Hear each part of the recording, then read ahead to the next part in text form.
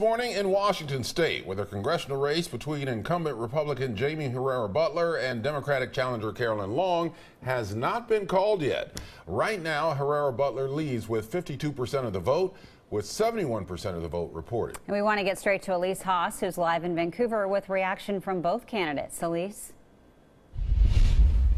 Yeah, that's right, Ken and Jenny. So this has been a close, closely watched race between the two candidates. And right now, since the numbers started coming in, Beutler has been holding on to about a 4% lead. There are still quite a few more ballots that st still need to be counted, but this means that Long hasn't conceded yet. She says she still wants to wait till a few more votes come in. But Herrera Beutler feels optimistic this morning, and we talked to both of the candidates, and they told us that they're looking closely at the results and their campaigns.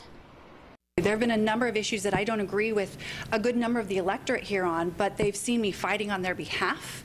And I think um, that, so I, I, never felt like, oh, this is my seat. it, it is an honor and a privilege to get to do this.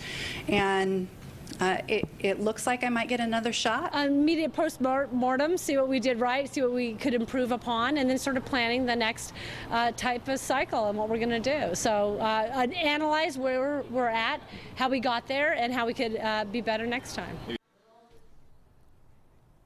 Last night, Long admitted it's not easy to flip a district this red. However, this is the closest race since Beutler's first race back in 2010 when she won with 53% of the vote.